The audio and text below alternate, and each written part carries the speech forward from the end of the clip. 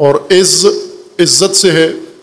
पहले कई दफ़ा ये माना किया है, अल्लाह ताला के असमाय हुसना में से। एक इसमें शरीफ अज़ीज़ है और अल्लाह तबारक व ताली की सिफ़ात में से इज़्ज़त है। और क़ुरान करीम में इज़्ज़त को अल्लाह के लिए, रसूलुल्लाह के लिए व मोमिन के लिए ज़िक्र किया गया है। ये ज़रूरी है, तवज्जो इस तरफ़, चूँकि वो असलाहत और मारफ़ जो क़ुरान करीम में है, वही हमारी ज़बान पर और हमारे माशरे में भी राइज है, उनका रवाज है। इज़्ज़त कसरत से हम इस्तेमाल करते हैं उर्दू में। अपनी इज़्ज़त, अपने ख़ानदान की इज़्ज़त, अपने लवाहिकीन की इज़्ज़त। तस्करा इज़्ज़त का ज़्यादा करते हैं, लेकिन जो इज़्ज़त से मुराद रहते हैं, वो कुरान के मुताबिक नहीं है। कुरान लफ्ज़ अरबी है उर्दू में हमने इसको अलग से असलाह बना ली है। कोई हरज नहीं है आप अपनी असलाह में इज़्ज़त का लफ्ज़ इस्तेमाल इज़्ज़त एहतराम के मुतरदफ़ तकरीबन इस्तेमाल करते हैं हम। बड़ी इज़्ज़त है, एहतराम है, यानी लोग हमारा ख्याल रखते हैं, हमारा एहतराम करते हैं। हमें सलाम कहते हैं, हमें अच्छा मकाम देते हैं, हमें प्रोटोकॉल देते हैं। इसको हम इज़्ज़त कहते हैं। और अगर कोई हमें नज़रअंदाज कर दे कोई हमें सलाम ना करे, हमारी बात को नज़रअंदाज कर दे, इग्नोर करे तो उसे हम बेइज्जती कहते हैं अपनी कि बेइज्जती हो गई मेरी। या कोई हमारी बात ना माने तो उसको कहते हैं, ये बेइज्जती कर दी इसने हमारी। बेइज्जती और इज़्ज़त, एहतराम बेहतरामी के माना में हम कहते हैं। लेकिन कुरान में और अरबी ज़बान में इज़्ज़त का ये माना नहीं है। कुरान में इज़्ज़त का मतलब होता है सख्ती और सलाबत। सख्ती। सख्ती दो तरह की होती है। सख्त चीज़ें, ये इस तरह भी हम इस्तेमाल करते हैं इस माना में। मसलन आप घर के अंदर मौजूद अशिया में से कुछ चीज़ें नरम हैं, कुछ सख्त हैं। नरम चीज़ें, जैसे तकिया सरहाना आपका नरम है, गद्दा नरम है आपका, कंबल नरम है, सोफ़ा नरम है आपका। इसी तरह और इस्तेमाल की अशिया बाज नरम है। और नरमी की एक अलामत यह है कि उनके ऊपर कोई चीज़ रखें तो धंस जाती है उनके अंदर। उनके अंदर अगर कोई सुई, कोई चीज़ लगाएँ तो वो अंदर आसानी से उसके अंदर धंस जाती है। ये नरमी की अलामत है। लेकिन आपके घर में बहुत सारी फर्श है और बर्तन हैं, ये सख्त हैं। इतने सख्त हैं कि इनके ऊपर अगर सर रखें तो दर्द होता है, आपको चुभता है। और इनके अंदर कोई चीज़ सुई वगैरह कोई लगाएँ तो वो जाती नहीं है इसके अंदर। ये सख्ती सलाबत जो किसी असर को बैरूनी दबाव को कबूल ना करे अपने अंदर दूसरे को रसूख ना करने दे रखना ना करने दे दबाव अपने ऊपर ना ले अरब इसको इज़, इज़ कहते हैं ये इज़्ज़त है ये। दबाव ना लेना। जो चीज़ दबाव ले ले मसन आपका तकिया है दबाव डालते हैं ले लेता है दबाव नीचे हो जाता है। गद्दा है आप दबाव डालते हैं ले लेता है। लेकिन कुछ चीज़ें हैं आप उन पर जितना दबाव डालें वो नहीं दब, दबाव नहीं लेती वो चीज़ें। वो अपनी जगह कायम है। ज़रा से एक मिलीमीटर या एक मिलीमीटर का सौवा हिस्सा भी वो लकड़ी या वो पत्थर वो नीचे नहीं जाता लोहा नीचे नहीं जाता बिल्कुल। आपका हाथ मुमकिन है मुतासर हो जाए लेकिन लोहे पर आप जितना दबाएँ अंगूठा लेके आप लोहे को दबाएँ अंगूठा दब जाएगा लोहा नहीं दबता। लेकिन अगर आप दबाएँ किसी गद्दे को, रुई वाली चीज़ को दबाएँ तो वो दब जाती है, नीचे दबाव ले लेती है। दबाव ले लेना जिल्लत है, दबाव ना लेना इज़्ज़त है, अरबी ज़बान में। जिल्लत इसी को कहते हैं, दबाव ले लेने को।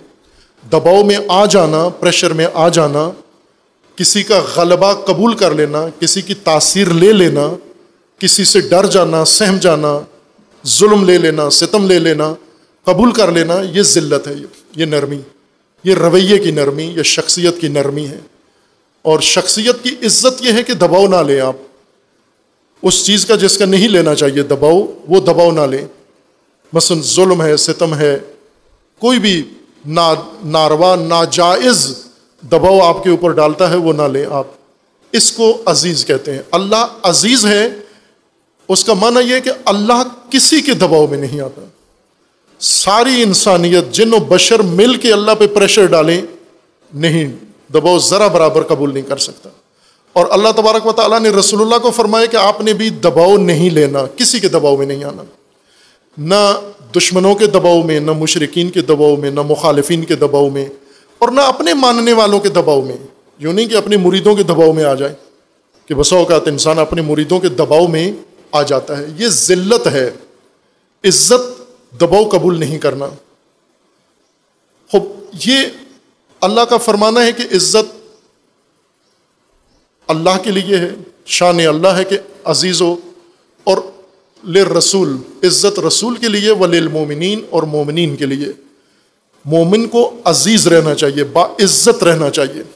बाइज़्ज़त से मुराद ये नहीं कि मुजरिम भी तुझे सलाम करें, फासिक, फाजिर भी तुझे सलाम करें तागूत भी तुझे सलाम करें। जहाँ जाएँ, तेरे लिए उठ के खड़े हों, सीने पे हाथ रखते हों। माशाल्लाह, मोमिन साहब आ गए, चौधरी साहब आ गए, शाह साहब आ गए, आगा साहब आ गए, मौलाना साहब आ गए। अगर फासिक भी तेरी इज़्ज़त करता है, इस माना में एहतराम करता है तो ये खुद तेरे लिए जिल्लत है। इसका मतलब है कि तू उनके दबाव में है। तू अमर बिल मारूफ नहीं करता, तू नह या मुनकर नहीं करता। ये जो हमने इज़्ज़त इसको कुरान इज़्ज़त बिल इसम कहता है, गुनाहकाराना इज़्ज़त, मुजरमाना इज़्ज़त है ये। ये नहीं है, मोमिन के शाया निशान ये इज़्ज़त नहीं है। अज़ीज़, मोमिन अज़ीज़, यानी दबाव में ना आने वाला। किसी नारवा दबाव में, किसी बेजा दबाव में, किसी जालिम सितमगर के दबाव में, किसी जमीयत के दबाव में, बेशक अकेला हो जाए, तनहा हो जाए, सब उसके मुखालिफ हो जाएँ, दबाव में ना आए। अपने उसके मुखालिफ हो जाएँ, साथी उसके मुखालिफ हो जाएँ। उसके मुआवनीन उसके मुखालिफ हो जाएँ, चूँकि बसों का दबाव इस तरह डाला जाता है। उमूमन बड़े बड़े लीडर बड़े बड़ी शख्सियात दूसरों के दबाव में नहीं आते, अपनों के दबाव में आ जाते हैं। वो क्या कहते हैं? हम आपका साथ छोड़ देंगे। वो दबाव में आते हैं, प्लीज़, मेहरबानी आप। जो कहते हैं, हम वो करते हैं। आपके कहने के मुताबिक अमल करते हैं। यही जिल्लत है ये। दबाव में आके किसी को कबूल करना, कोई राय ले लेना, मशवरा, ये जिल्लत है ये। इज़्ज़त ये है, इस इज़्ज़त का सबसे बड़ा, इस इज़्ज़त तक अगर पहुँचना चाहते हैं आप, यानी ऐसी ज़िंदगी जो दबाव के बगैर गुजरे, दबाव डालेंगे, हर आदमी दबाव डालेगा, हर तबका दबाव डालेगा। खसूस जहाँ पर मुआशरा ही ऐसा हो, अभी बाद वाली जो हमत आ रही है, वो बहुत अहम है। इन उसको भी तवज्जो से सुनेंगे आप, वो बहुत अहम है।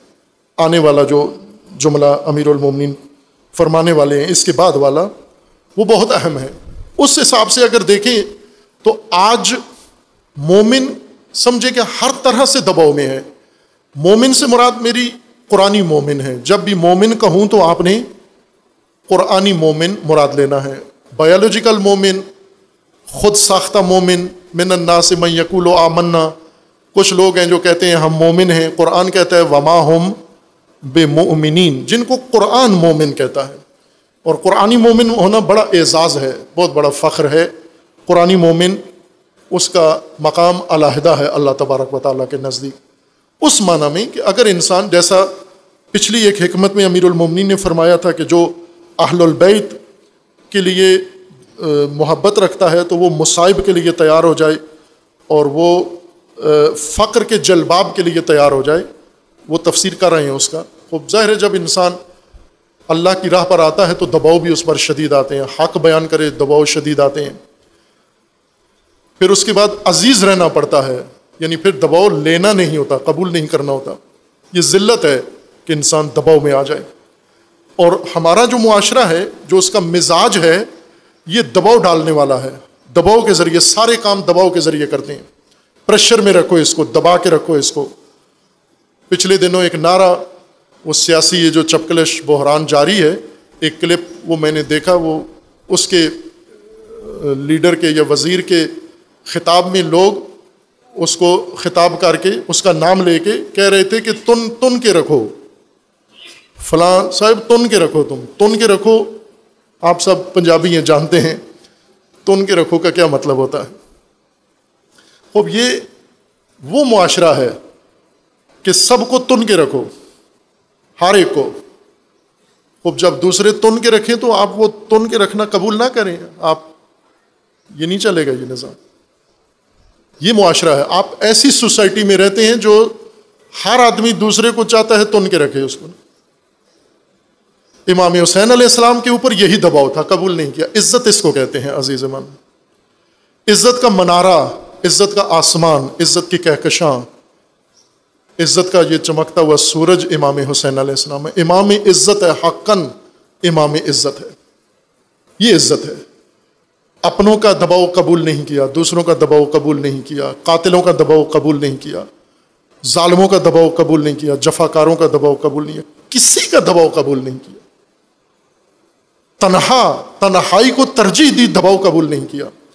क्योंकि जिल्लत दूर है मुझसे। है, हाथ मिन्ना जिल्ला। जिल्लत दूर है मुझसे। मैं जिल्लत कबूल करने वाला नहीं हूँ।